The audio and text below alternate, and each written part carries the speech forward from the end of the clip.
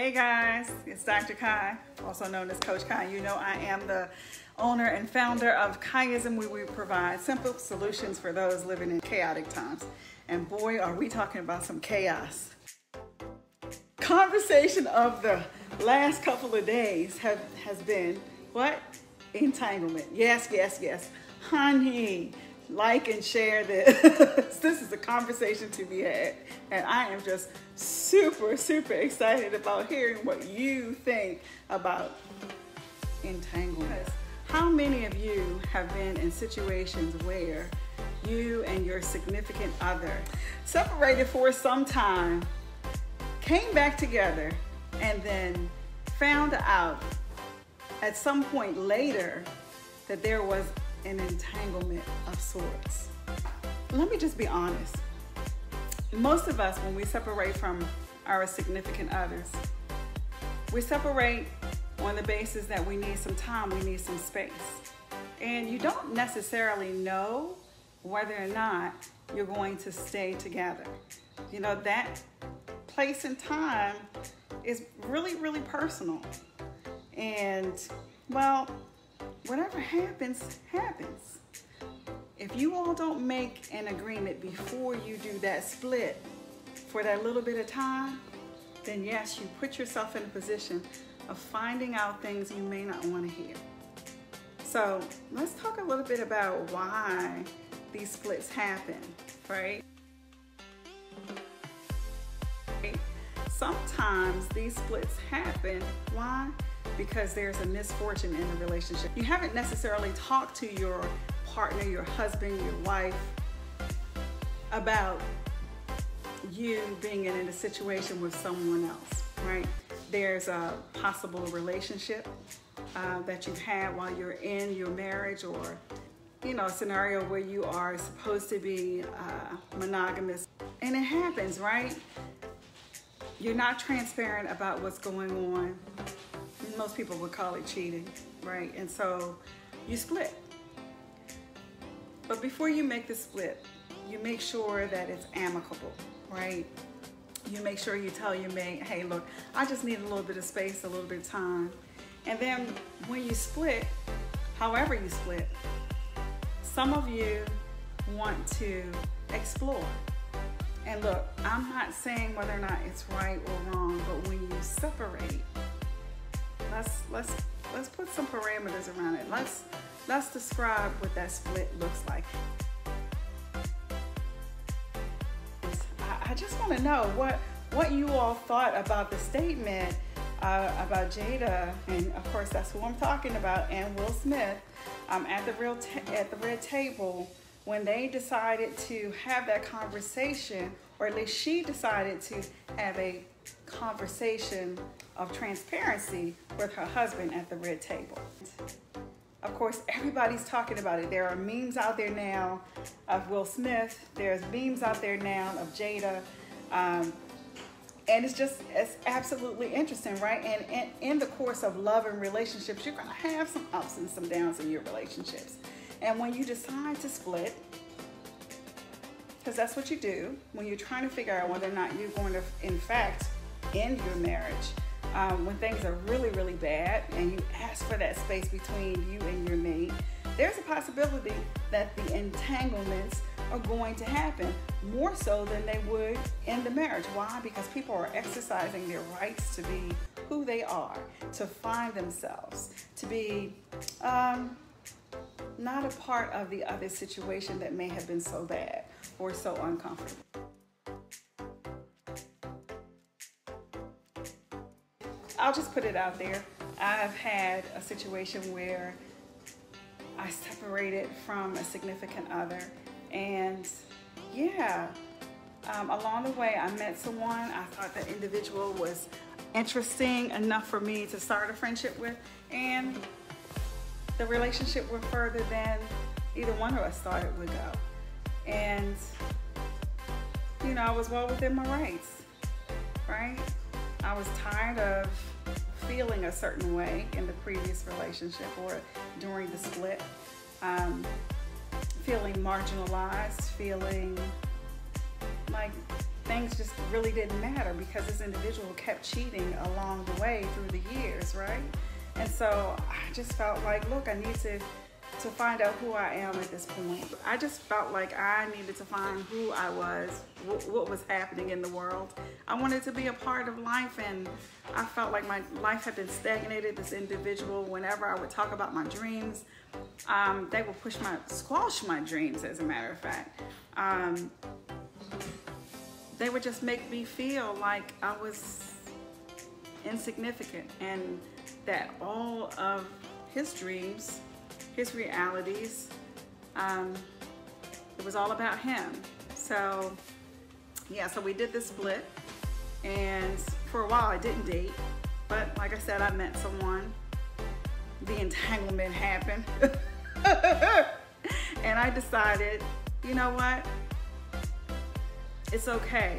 I, I recognize where I stood, and as a matter of fact, I realized where the other person stood. Um, did we try to go back? Yeah, we tried to we tried to pull it back together after the split, but it wasn't a situation where um, I could, or whether whether or not you want to believe it or not, whether or not he could even stomach having an idea that the entanglement happened, right? So you have to be aware that you know the other party may not be able to live with the thought. Now, here's the thing that, and, and I, I want to point it out to a lot of people. You heard the both of them say, both Jada and Will say that for bad or for worse, they were staying married. Now, I don't know how many people paid attention to that, right?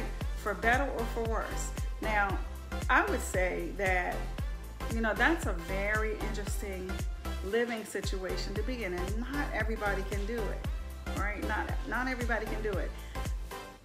You can live in one side of the house and the other person lives on the other side of the house, but at the end of the day, something has to give, right? And so I wish them lots of luck, but on this, in the same token, you know, you gotta live with some truths. And I don't know whether or not Miss Jada actually told all her truths at that table. Um, and it was very interesting for Will to say at the table um, you know, you got it. You got to put it all on the table for people to understand. And he wanted her to define what entanglement meant. Now she danced all around that. Miss Jada, you danced all around that issue. Um, but the real deal would have been not to talk about this on live internet TV um, with the audience if you hadn't cleared the air with your husband. And so Okay, here's here, here's the real reason why I'm talking to you guys. Is because when you do a split in a relationship, remember we're talking about love and relationships. When you do a split in a relationship, it is super, super important that you take the time out to make sure you clear the air. If the other party wants to know what you did, you have to. You have to decide whether or not you are able to speak your truth, right? Because walking back into a situation with more mysteries does not help resolve whatever the issue was when you guys split. It sounded as if at that table um, there was going to be more discussion after they went off of the camera, right? Um, and I think she owes it to her husband um, since it's bad marriage for life, to absolutely let him know what this entanglement really entailed. Um, and let Mr. Smith figure out whether or not he wants to continue the relationship. It is, in fact, something that for some people will be absolutely hard to live with. I, of course, for me, it, I, I was sitting back and I don't want to say um, surprised, but in a, a, a lot of ways, I was taken back by the fact that you put this man on TV and you wanted to be to free yourself, so to speak, of um, whatever it was that was sitting on your chest. And it looked like, Miss Jada, that you were talking about the fact that you were being honest about your relationship. But in fact, you were not. You were not. And it's it's discouraging because there are a lot of people out here who are living these lies, right? And they're living these lies through these words um, and, and not being fair to their mates, right? How, how, how could you? How dare you, right? And so, and I'm not being harsh, I'm not being harsh, but this is some real stuff here. We're talking about somebody else's feelings right? We're talking about someone else's feelings. And so for those of you who are out there living a lie in a relationship, please take the time out to understand what this feels like to the other individual that is involved in the relationship. It is not cool to continue to stay in a relationship. So this is being selfish and arrogant on your part. Um, to stay in a relationship, right? Um, and knowing that you have these secrets that you're not going to tell. Now, there are folks, and it sounds like these two folks may be in this situation, who both have secrets, who both have mysteries that they talk about, and they air them in a certain way where uh, I'm not going to tell you everything, I'm just going to tell you a little bit. Either you tell it all or you tell nothing, right? Because, of course, it's a split, and whatever happens when the two of you are out of each other's sights in a split of sorts, then maybe you should um, decide to keep that right where it is versus waiting a couple of years, four years, five years, seven years down the road and decide to be honest about what has happened or did happen in that relationship. It is not cool. It is not cool. We're everyday people, and I'm expecting that as everyday people, we have some love, care, and transparency that happens between each other.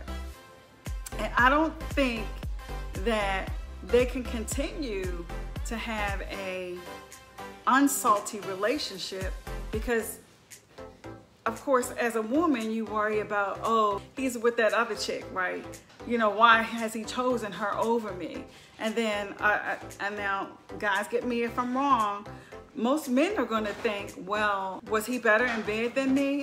What's it about this guy that, you know, had this happen? Another reason why this is disturbing me so is that other people are out here and they're watching, right?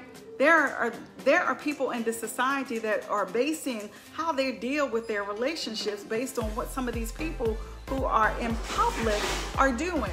Based on love and relationships, there is the one thing that I would say is that you must do, you must decide as an individual, how honest do I want to be and how long do I want this relationship to last? Am I in it to win it? Because if I'm in it to win it, we need to have an understanding across the board about things that have happened and things that have not happened. Um, we need to have an understanding about uh, where we go from here. I, I'm just like, I, I was sitting here just talking to my, my daughters who are young. Um, they're millennials and, and just to hear some of the things that they're saying, it's like, come on, you know?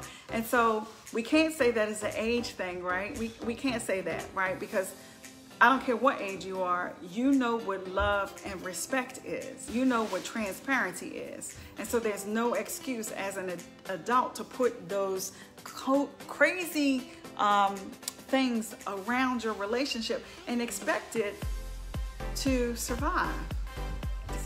If you're not talking about having a split of sorts where you're going to be transparent about everything that happens in your relationship, then you should, in fact, at that point, decide whether or not you want to continue the relationship. But don't aim to come back into a relationship without setting some expectations um, on the table for the each of you to meet. And folks, don't be one-sided. You know, if, if one's gonna do it, both of you have to do it or else there's there's no agreement. Um, it's an interesting conversation to have. I do suggest that um, you have it the conversation amongst your friends and family. And people have very interesting takes on it. And again, this is about uh, the Will Smith and Jada Pinkett Red Table conversation. I hope that you see that uh, if there is to be anything left to um, salvaging a relationship, I, I, would hope that at the end of the day, everything's based in love, um, whether or not you decide to stay together or split. Um, but it's got to be fair. You know, nobody wants to fight in an unfair fight, um, and um, you know, having these mysteries or these secrets about your entanglements um, do not, they're not healthy. Um, and if you're going to have these unhealthy situations, uh, be aware that you're going to have some unhealthy outcomes in the end.